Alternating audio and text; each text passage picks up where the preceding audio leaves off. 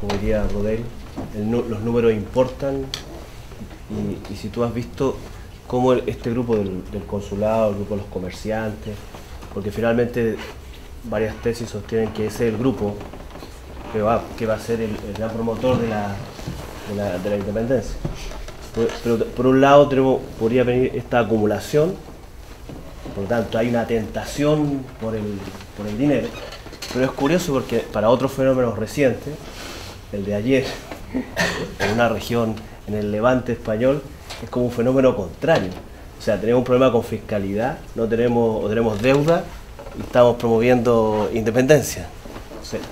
para hacerla, para hacerla en el contexto de hoy, uno compara dos realidades distintas donde uno puede decir, para determinado momento hay un grupo que está presionando, y, evidentemente uno podría plantear que los, las repúblicas, los medios de independencia, los sectores burgueses son importantes en, la promoción de esa, de esa eh, de la república, en fondo, de la independencia. Si, si, estos datos que tú has visto y estás analizando te llevan a esa, a esa conclusión o todavía lo ves poco claro de que esos grupos finalmente hayan sido impulsores, pero por este ámbito, por el ámbito económico, por el ámbito de la acumulación de riqueza, la presión de la fiscalidad, esta idea entre poder local, poder central, los Borbones versus la antigua tradición española de sostener el poder local en vez de los poderes más centralizados? Bien, yo creo que hay que ser prudente a la hora de plantearse el rol precursor antes de 1810. Porque a partir de 1810, 14, las cosas empiezan a cambiar muy rápido. Yo no sé si antes de 1810 tengo serias dudas de que antes de 1810 estos, estos sectores de la élite mercantil fuesen realmente partidarios de la ruptura política. Yo creo que no. Entre otras cosas porque ellos salían favorecidos con este sistema. Ahora, por otro lado, estar a favor del comercio libre no es lo mismo que estar a favor de la independencia. O sea, se puede estar a favor del comercio libre,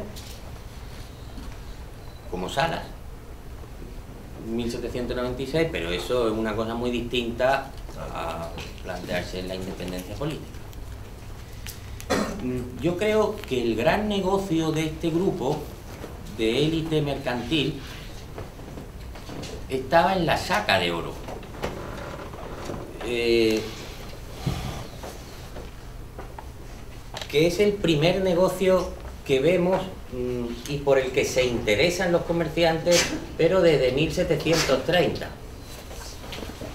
Ahí cuando no hay una fiscalidad definida, porque Chile tiene una actividad económica muy precaria y la corona se, preocupa poco, eh, ahí empiezan a producirse cambios, estos cambios estructurales, primero eh, a, raíz del Tratado de Utrecht y contrabando francés, este tipo de cosas, la entrada de, esclavos por Buenos Aires, que claro, la trata de negreras siempre viene asociada al contrabando, ahí empiezan a generarse mm, oportunidades y, y empieza a desarrollarse también la producción minera que estaba muy decaída.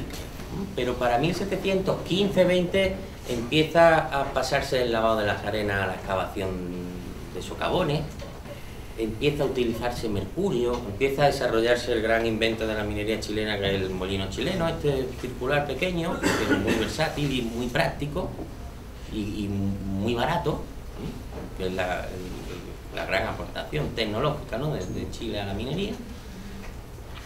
Y empieza a producirse oro y ese oro salía a Lima, ¿no? Salía a Lima, hasta que, bueno, la creación de la Casa de la Moneda supone una ruptura en ese, en ese funcionamiento.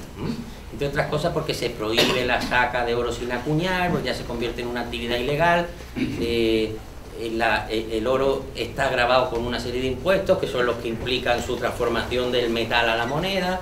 Y ahí yo creo que empiezan a observarse una serie de tensiones entre distintos grupos de comerciantes.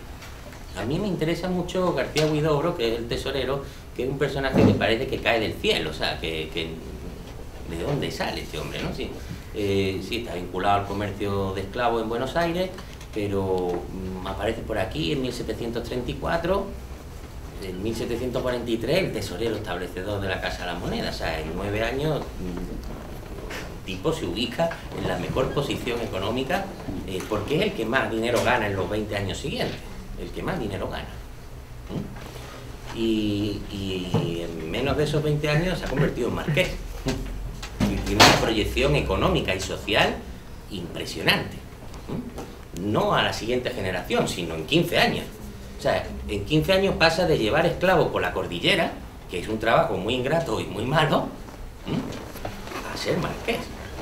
es un caso interesantísimo. Yo creo que este no actúa solo. Es una sospecha, pero no, no tengo datos, pero yo creo que este no actúa solo. Yo creo que responde a, a una red que trata de sacar el oro hacia otro sitio, no solo hacia Lima a Buenos Aires y Cádiz, que es donde él sí sé que tiene algunos socios, porque aparecen ahí algunos datos. No conozco toda la documentación referente a García pero bueno, me indica que yo creo que hay ahí tendencias de tensiones entre grupos, también las reacciones de los comerciantes que habían llegado unos años antes, que se habían hecho con esos arrendamientos que graban la fiscalidad sobre la actividad minera y que aprovechan esa competencia delegada para absorber, empezar a absorber la producción de oro, eh, eh, se quejan cuando se produce el establecimiento de la Casa de la Moneda, hay unas tensiones interesantes ¿no? entre las élites locales, distintas facciones de comerciantes que están pugnando por ver quién se lleva el gato al agua. Pero, por ejemplo, se me había quedado una, una última diapositiva que creo que ilustra esto un poco. Eh, estos son es una tabla muy sencilla porque ahí he agrupado, eh, creo que los 10, 2, 3, 4, 5, 6, 7, 8, 9 y 10 primeros acuñadores en la lista por volumen de acuñación de todo el periodo de 1749 a 1810. El penúltimo es Francisco García de Huidobro, que actúa del año 49 al 72, que es cuando le quitan la Casa de la Moneda, no está mal. En esos, en esos años se sitúa en el noveno puesto de todo el periodo pero los que ocupan los primeros lugares entran muy tarde. Entran tarde. Eh, Antonio Pérez Franco en 1789, eh, Juan Agustín Beina en 1790, eh, Fresno y Sagredo Fresno en el 82 y en el 1805, que son suegro y yerno. Berenguel en el 71. Estos son los que reúnen volúmenes mayores es decir, de manejo de metal y eh, control del flujo monetario durante todas estas décadas. Así que si el negocio al principio, antes de 1749, antes de la creación de la Casa de la Moneda, está en sacar el oro, yo creo que el negocio de estos también está en sacar el oro. El negocio de estos no está en importar y vender aquí, porque el mercado aquí no tiene capacidad para generar grandes ingresos. Yo creo que el millón y medio, dos millones de, pesos que cuestan las importaciones anuales, eh, muchas se malvenderían en un mercado saturado con no mucha capacidad de compra, salvo un sector muy concreto que es el que maneja estos grandes volúmenes.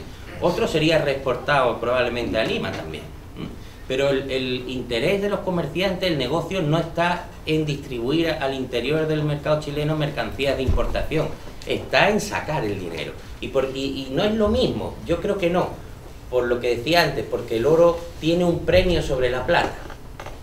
Entonces yo creo que estos lo que ganaban era una, esa comisión del 7, 8, 9% en la exportación de oro, con respecto a los comerciantes de otros lugares, de otras regiones de América que exportaban plata.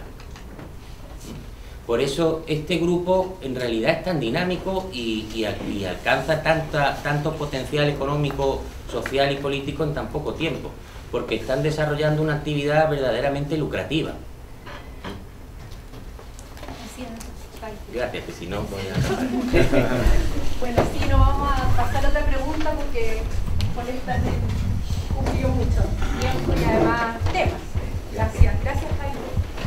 Em, profesor Juan Cáceres, profesor de la Cátedra de Historia de Chile Colonial en este instituto.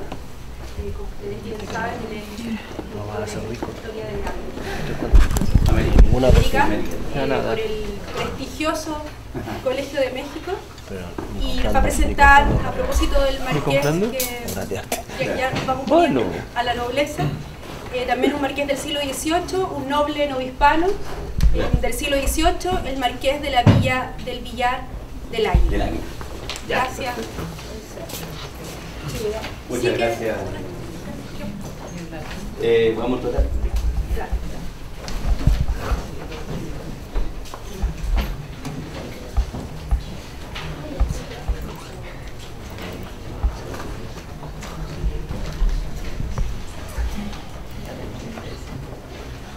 Eh, yo voy a sacar esto porque en realidad yo me acaloro muy rápidamente cuando estoy en la jornada y la, la sala también a veces no se presta mucho para, eh,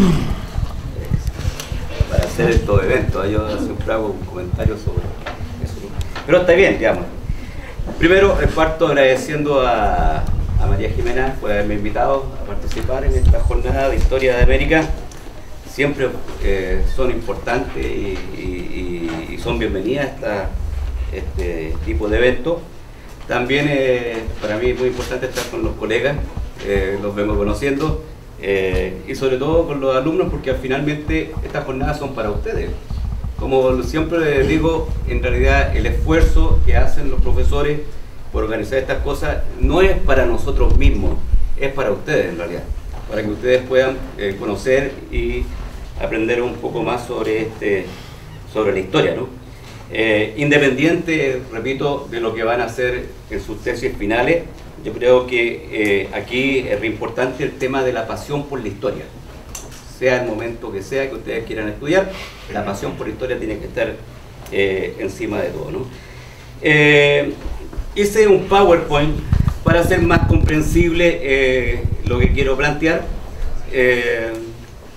porque esta es un área muy importante dentro del mundo eh, del imperio español en América, que es el virreinato de Nueva España. El virreinato de Nueva España es un lugar, eh, eh, junto con el virreinato del Perú, los dos grandes virreinatos del siglo XVI XVII, y después, digamos, se empieza a construir o aparecen estas otras demarcaciones administrativas eh, con el virreinato de la Nueva Granada, eh,